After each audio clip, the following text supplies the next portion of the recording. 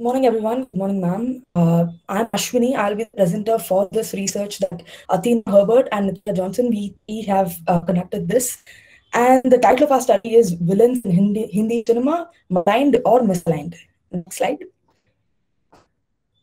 So, uh, yeah. So I'll just give a brief introduction. So I'm Ashwini and myself and Nitya, we pursue psychology and she is doing her specialization in counseling psychology, whereas I do in human resource development and management. And Athena is doing her master's in culture studies. So it brought in different perspectives and we really enjoyed working on this research. So the objectives of our research are to track the evolution of the concept of evil in Hindi cinema from 1950 to 2020. So as you can see, we have taken like a bird's eye view on the whole uh, like Hindi cinema and the history that we have post independence. And that is something that we enjoyed doing because it gave us different perspectives as we'll discuss later. And the second one is to explore the link between storytelling in cinema and personal collective narratives. So, in that sense, what we mean is that uh, as humans, we really like telling stories to one another. And whether it be stories about our own life or fictional characters, I think we all relate to each other in different ways through our stories. And we wanted to understand how India as a whole relates to each other through these fictional stories. So the method that we used is the secondary research method, where we sampled 15 films from every five-year period. So that's like 1950 to 55, 55 to 60. That way till uh, 2015 to 2020. So the total number of films that we looked at was 210 and we did a content analysis of the major plot points and we got them from the Internet Movie Database, which is IMDb for short. Next. Right, so these were the like, total films we looked at, and it was a journey, to be very honest, like to look at all this and track the evolution of Hindi cinema throughout the throughout the years. And we came out feeling like exhausted, yes, but also really happy to have gone through this journey and seen how portrayals of heroes and villains have evolved over the years. Next. So here I'll just be giving like a short, very brief summary of the major takeaways of the kind of genres that were there and what did we understand from reading those plots and stuff. So then we'll get into the theme, thematic analysis. So when you look at 50s and 60s, I would say it was a period of like industrialization for India. And this was time when you know like there was a income inequality which indians experienced due to the rapid industrialization in some areas whereas uh, the other parts were lagging behind. So there were a lot of films where uh, the village moneylenders and uh, zamindars were characterized as the villains.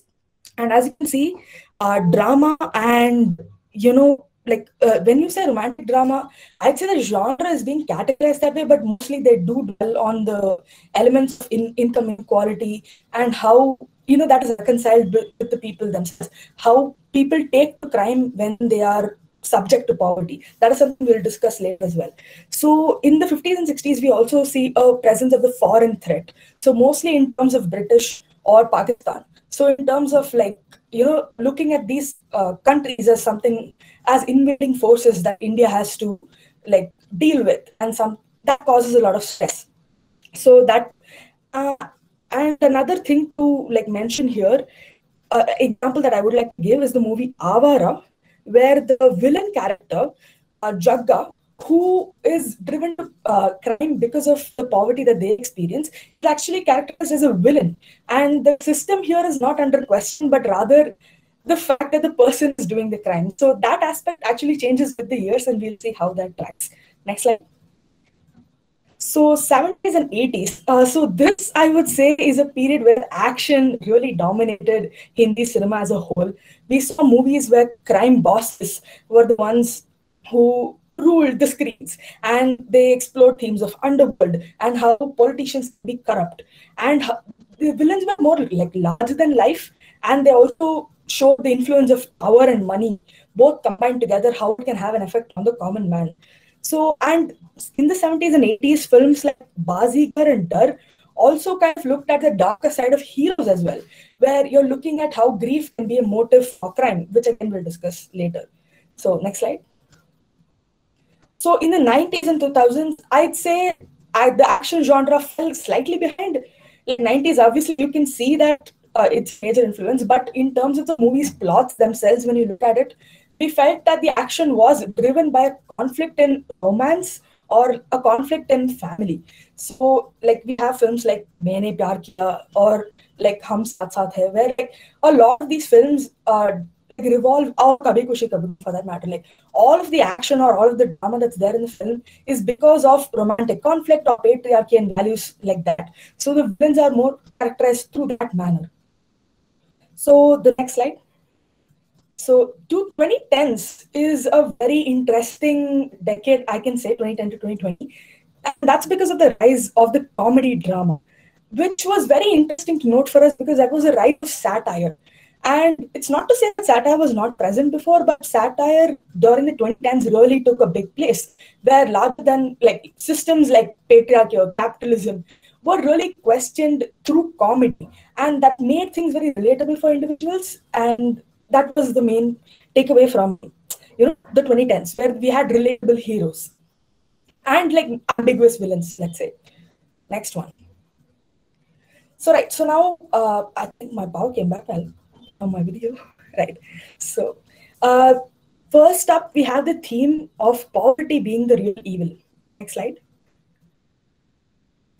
Right. So when I say poverty being the real evil in these films, like we have to note that what we found in the plot while analyzing was that evil is a precondition to life, and that is something that the characters in the films and the char- and as as people realize, and that there is a certain duality to life about how if let's say you have a life of wealth and privilege, you are much what say you are more privileged in a way because you have good education, you have good opportunities in life, and when you're not, uh, you fall into uh, fall into a life of crime and become a bandit. And I think this is really explored in in the portrayal of doppelgangers in films. So there are many many films like films like Jewel Thief, Seeta Aur Geeta, The Great Gambler, Phandebaaz, Mahan, Chalbaz, a lot of them from the 60s and 70s until 90s. A lot of these films used doppelgangers as like or twin characters to say how what would happen to people's lives if they were split apart and had different nurturing experiences one being privileged and the other being poor and what happens to these characters so usually what we see is that the character who's poor ends up joining the life of crime. But again, the important thing to note here is the importance of framing. So when the hero character is, you know, joining the life of crime, their crime is justified by the fact that they're the hero and that they have a moral conscience. And that, you know, they're doing that crime for a larger, better reason. They're almost like a Robin Hood character, where they steal from the rich to give it to the poor and they're benevolent. Whereas the same crimes, if they're committed by a poor person who is categorized as a villain, same thing as I said for Jagga in Avara, right? So in that way, they are characterized as a villain and their actions as bad and they as evil by characteristics of personality. So I think that is like a big takeaway from this uh, is the framing effect that this whole theme induces us to think.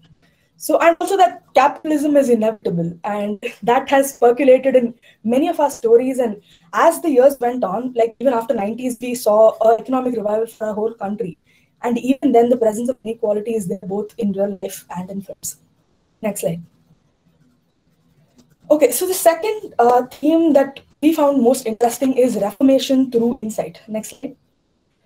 So what do I mean by affirmation through insight? So the best way to explain that is in Dilwale Dulhania Le Jayenge, the father in the end says, uh, "Na beta, apni zindagi." That's a like that's an iconic line, and that's what this theme represents throughout. So this is where characters realize that they're being bad, that they're hindering the protagonist from achieving something good. So therefore, they achieve the insight, and they're then good people. They because you realize something, you're then good. So another example would be a early 50s spy film. I, am forgetting the name now, but where uh, the there were two girls who were Pakistan, who were British spies, and they realized that they're doing bad by being British spies. So then they they then joined the Indian Army and helped the Indian Army instead by being like a double agent.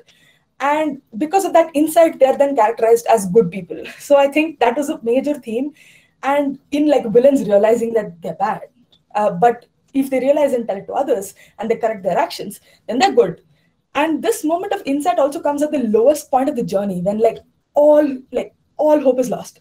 when everything is gone downhill. That's when you have this moment of insight. Then the like overall theme that life's lessons are taught by suffering, and that today's suffering is tomorrow's glory. And now that you have a perfect life, that because you've realized that you're a good person, and that good deeds will always be rewarded, and that is also something that we noted. Next slide. Right. So this theme, the idea of nationhood, is something that looms large over most of the films. Next one. So where here we see individuals as, as being representatives of the whole nation, whereby if an individual conquers another individual, then that means the nations have conquered over each other. And films like Gunde asks like who is an Indian like at all, like the newer films I mean, where you're looking at immigrants and seeing what constitutes as an Indian. Is it the political identity? Is it the citizenship? Is it religion sometimes? Like a lot of these nuances are being explored. Then the Pakistan problem. By that I mean you all of these films never define why Pakistan is a problem or why are they the antagonists of the films that they're in. If you just say Pakistan, the audience will understand that they're bad. And I think that's something to keep in mind, like why is that a stereotype that's associated? Then then the newer films like Dangal or Chak De India using sports as a battlefield to like highlight India's prowess and showing their dominance over the other countries and over other more European countries as well as a means to say that even though we are economically not so, so like not so high as them, we will still defeat them in sports. And also villains hiding in plain sight, such as terrorists, like movies like Rustam or Holiday or Ek Tha Tiger, they all explore that. Next one grief as a motive for revenge. Next one, next one. I think we have definitely spoken about this in the earlier parts as well, where death of a parent or violation of a woman that the protagonist uh, like is associated with, be it their wife or mother or sister, uh, that causes them to take revenge, and their actions are justified, even though they are like crimes. They are justified because they are the hero, and again the framing framing effect comes in. There's an us versus them mentality where we are seen as the benevolent, whoever we are, we are seen as the benevolent ones, and the others are seen as the malignant one.